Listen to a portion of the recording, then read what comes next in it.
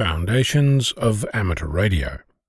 Having been able to call myself an amateur for over a decade, it might come as a surprise to you that it wasn't until a couple of weeks ago that I thought about attenuators for the first time. They're a curious tool, and once you come across them, you'll never be quite the same. Before I dive in, you should know that an amplifier is an active tool that makes things bigger, and an attenuator is a passive tool that makes things smaller. To look at, attenuators are diminutive, to say the least.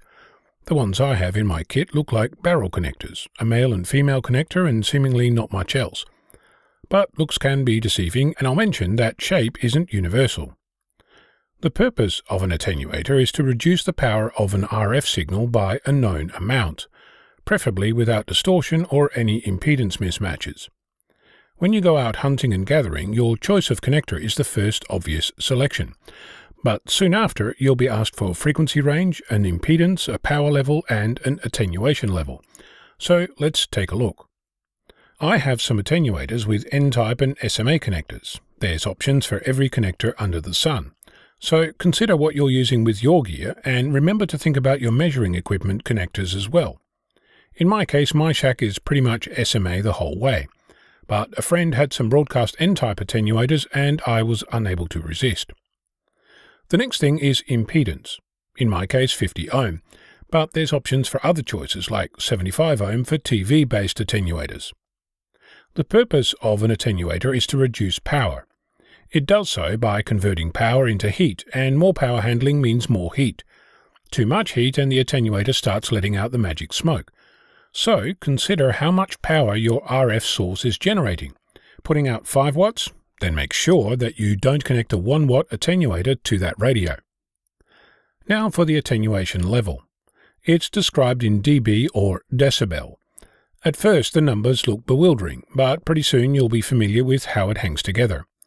A 3 dB attenuator will halve the signal, so a 10 watt signal will be reduced to 5 watts, and a 200 milliwatt signal will be reduced to 100 milliwatts. If you have a 6 dB attenuator, it will halve again.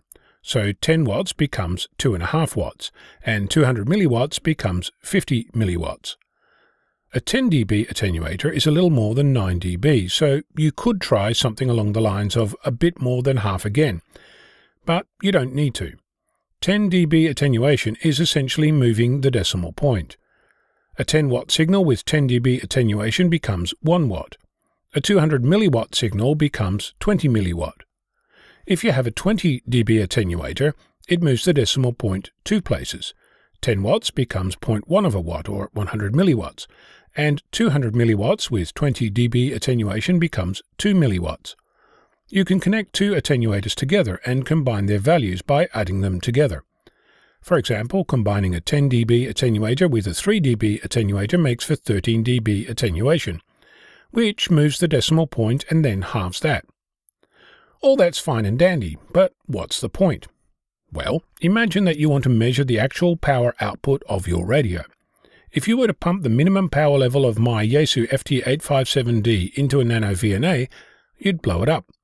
But if you added, say, 20 dB attenuation, that 5 watt would become 0.05 watts, or 50 milliwatts, which is half the power rating of the Nano VNA.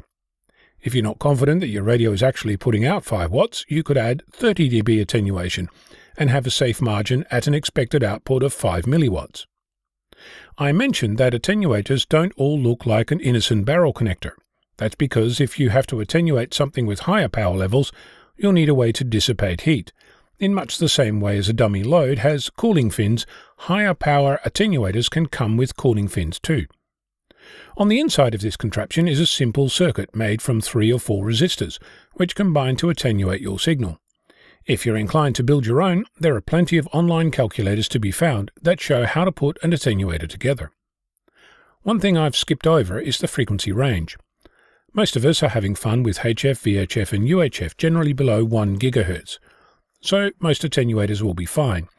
But if you're playing at higher frequencies, you should take note of the frequency range specified for the attenuator. While on the subject of frequency range, you can easily measure the actual performance of an attenuator using a nano VNA. Connect port 1 to port 2 through your attenuator, and using the magnitude trace you can see just how much attenuation it provides. Be sure to set the intended frequency range and calibrate without the attenuator before measuring. Now that I know about attenuation, I cannot imagine a life without.